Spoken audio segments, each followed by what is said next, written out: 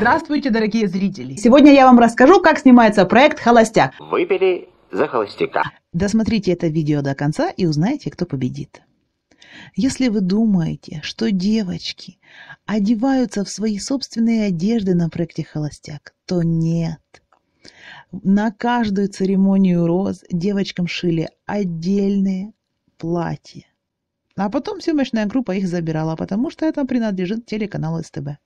Если вы думаете, что позакадровый текст, так называемые блицы, свои впечатления о свидании или о церемонии роз девочки снимают непосредственно во время самого происшествия, во время церемонии розы или во время свидания, если вы думаете, что режиссер говорит «стоп», свидание прекращается и каждый потом говорит свои чувства, нет – эти блицы снимаются в конце дня, после самой церемонии роз, даже когда уже девочка уехала, якобы уехала.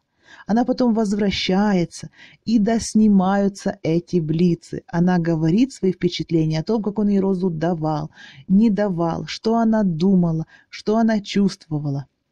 Иногда эти съемки происходят целую ночь после церемонии роз. И наша Дана придумала такую очередь. Они тянули жребий. Какая девочка после кого будет снимать эти блицы? Почему? Потому что первая девочка отсняла свои блицы и пошла спать. А их там целая куча, там 10 девочек. Дождешься до утра своей очереди.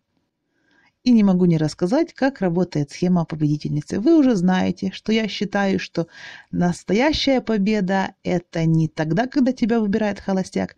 Победительница холостяка ничего не получает. Получает все бонусы от жизни та девушка, которая заняла второе место.